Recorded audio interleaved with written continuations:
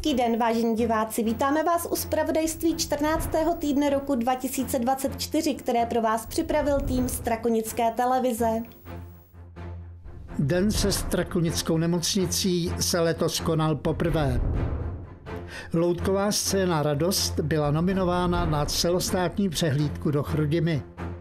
Nejlepší sportovci okresu byli vyhlášeni ve Vodňanech. Na den se Strakonickou nemocnicí byl připraven celodenní program jak pro žáky základních škol a středoškoláky, tak pro veřejnost. Den se Strakonickou nemocnicí poprvé ve své novodobé historii připravilo její vedení pro žáky základních škol, středoškoláky, absolventy vysokých škol a samozřejmě pro veřejnost, které bylo umožněno bezplatné vyšetření na některých specializovaných pracovištích. My jsme chtěli vůči veřejnosti a vůči eh, zájemcům o zaměstnání u nás v nemocnici nebo ve zdravotnictví obecně ukázat takový jeden den v nemocnici, jak to prostě probíhá a současně využít tuhle tu akci i k tomu, abychom šířili nějakou osvětu, prevenci a podobně. Protože právě ta prevence, to, co děláme pro to naše zdraví, je to nejdůležitější, co vůbec můžeme udělat pro kvalitu a délku našeho života. Celodenní program Dnes se Strakonickou nemocnicí nabídl lidem například měření tlaku, hladiny cukru v krvi, ultrazvukové vyšetření krčních tepen, vyšetření očního pozadí u diabetiků nebo i ukázku správné hygieny rukou. Témata odborných přednášek se týkala předcházení mozkových příhod, předcházení demence, ale také pohledu porodníka a porodní asistentky na spontánní porod a císařský řez. Veřejnost si také mohla prohlédnout porodnici a podívat se, jak se rodí ve Strakonické nemocnici v 21. století. Speciální program byl připraven pro studenty zdravotnických oborů středních a vysokých škol a zájemce o práci ve Strakonické nemocnici, ve které je v současné době ročně hospitalizováno asi 14 500 pacientů a provedeno 140 000 ambulantních vyšetření. Na letošním 57. ročníku loutkářské přehlídky skupovy Strakonice diváky i porotu zaujaly domácí soubory. Městské kulturní středisko bylo pořadatelem 57. ročníku krajské loutkářské přehlídky s postupem na loutkářskou chrudim Skupovy Strakonice 2024.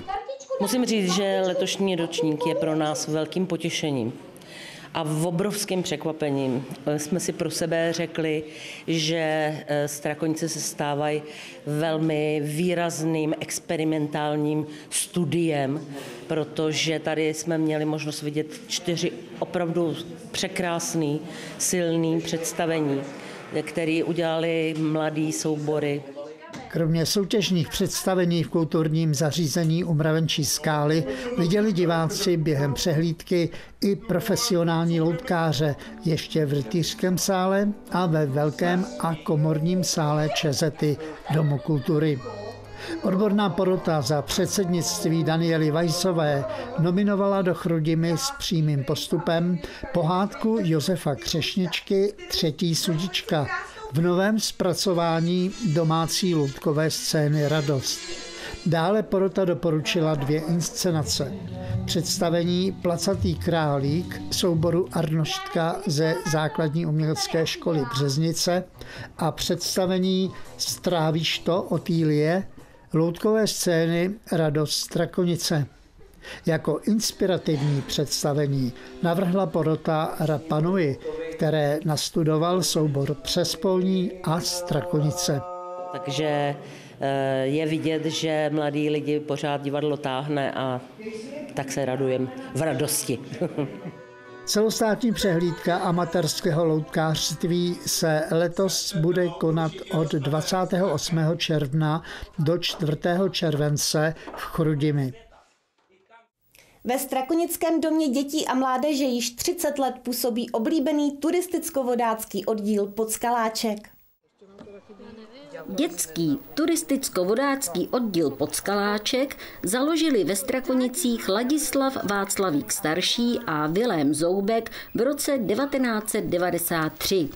Oddíl je součástí zájmových kroužků Domu dětí a mládeže a zároveň součástí tábornického klubu Podskalí Strakonice, který spadá pod Českou tábornickou unii. Členové Podskaláčku se scházejí jednou týdně na vodáckých schůzkách. Takže v rámci schůzek se snažíme dělat vlastně tábornické a vodácké aktivity. Ty vodácké to je jasný, že snažíme vlastně ovládnout loď, to znamená, že si můžeme snést, máme tady loděnici, takže si dokážeme snést ty lodě dolů a cvičíme na řece. E, potom v rámci nějakých výprav splouváme i různé řeky. A ty tábornický, tak to je, že se snažíme vlastně naučit základy morzovek, morzovky, šifer, uzlů, zdravotnictví, stop, aby si děti třeba uměli postavit stán, rozdělat oheň a tak podobně. Vedoucí kroužku pořádají také nejrůznější akce nad rámec každotýdenních schůzek či výjíždějí se svými svěřenci na početné výpravy mimo Strakonice. Každý měsíc máme vlastně nějakou výpravu, ta je buď jednodenní, kdy jsme nedávno jsme byli třeba v zoo v Plasech, nebo jsme byli v Protivíně na krokodýlech. Potom máme víkendové výpravy, kde jezdíme třeba na Zálesí nebo na naší táborovou základu na Kadově u Blatné. A vlastně tenhle víkend, vlastně zítra tady pořádáme takovou velkou akci, která se jmenuje Mafiánská hra, která je pro všechny vodácké oddíly a i pro dětské oddíly v okolí. To znamená, že sem třeba přijedou oddíly z Volině, z Vodňa, z Čestic a bude na Podskalí taková velká, velká akce pro všechny oddíly. Do kroužku je možné se přihlásit i v průběhu roku. Stačí si podat přihlášku do Domu dětí a mládeže ve Strakonicích. Úplně nejlepší je samozřejmě přijít v září, kdy se ten oddíl jakoby rozjíždí a kdy se snažíme ty první zkusky věnovat nějakým poznávacím činnostem, aby si zvykli na tu činnost, ale není problém přijít kdykoliv během roku, eh, vyzkoušet si to, zjistit, jestli ten oddíl bude děti bavit a pak se můžou podat přihlášku normálně do domu dětí a začít chodit, takže celý rok nabíráme. Jedenáctiletého Josefa Škopa přivedl do Podskaláčku jeho kamarád. Mě baví um, se tady učit nový šifry a hrát různé hry, které jsou originální a zábavné a pohybové a moc mě to tady baví. Spolu s ním chodí na kroužek i téměř 13-letý Jan Stránský, který se v oddílu lecos naučil. E, Morzovku jsem se naučil, ale nějaký šifry jsem se nenaučil. Uzle mi třeba moc nejdou, protože je vždycky zapomenu. Děti láká také tří týdenní tábor, který se koná na přelomu července a srpna. Vlastně v létě pořádáme tří týdenní tábor, který je eh, nejen pro členy našeho oddílu, ale přibíráme i zájemce z řad veřejnosti, takže by někdo měl zájem, tak na našich stránkách podskaláček.cz nebo na našem Facebooku podskalí, myslím, že když se napíše, tak se to najde, tak tam se dá, dají, dají najít informace o našem letním táboře, který právě probíhá v Karově Ublatné, trvá tedy tři týdny a letošní téma jsou samurajové Japonsko.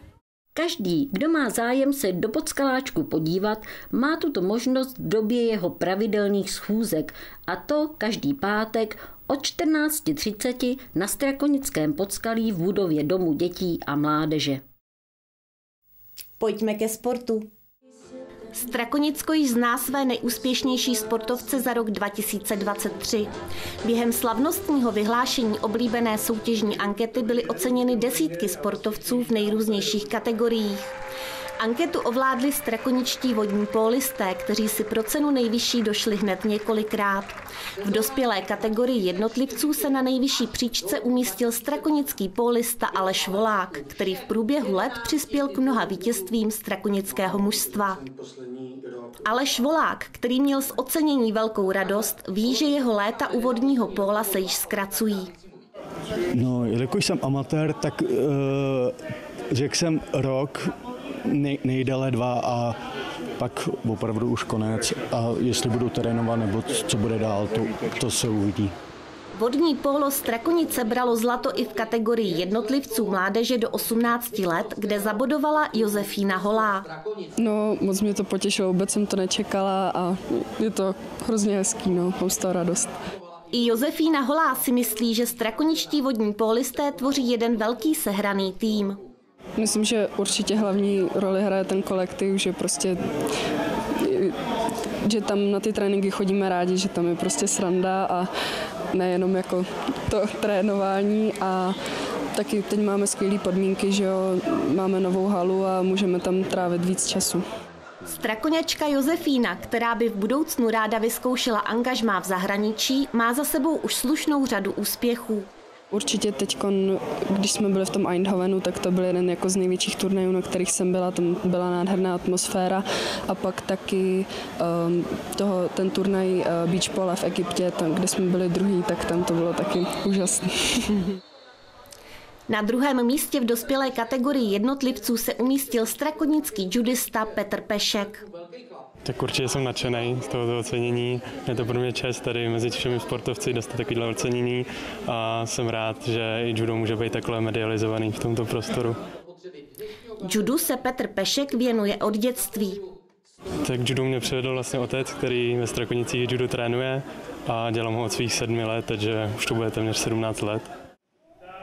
Petr Pešek má za sebou celou řadu úspěchů. Nejvíc cením, že jsem se v juniorském věku vlastně probojoval i, dá se říct, do reprezentace, účastnil jsem se Evropského poháru a teď v posledních letech se mi daří získávat medaile na akademické mistrovství republiky a loni se povedla i bronzová medaile na mistrovství republiky mužů. A čemu by se Petr Pešek rád věnoval v budoucnu?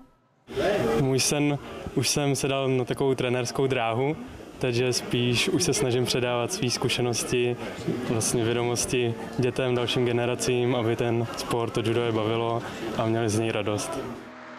Úspěšnou sezónu mají za sebou i strakoničtí krasobruslaři. Trenérkou roku se totiž stala Ivana Andrejčová z HC Strakonice.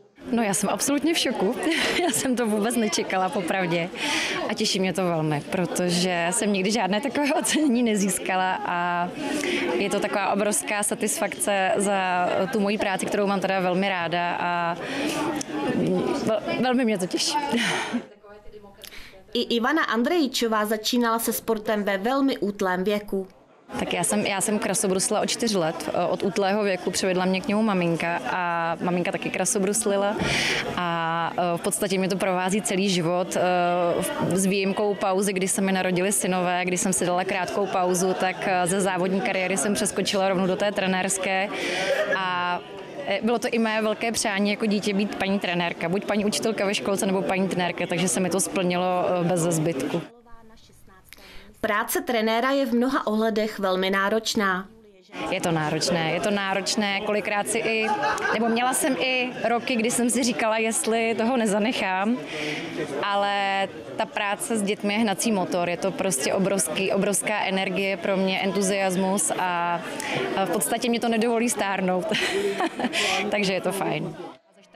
Ivana Andrejčová působí ve Strakonicích jako trenérka od roku 2009.